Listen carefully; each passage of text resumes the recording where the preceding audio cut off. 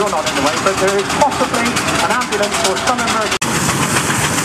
There on the trailer with this very old, large electric motor.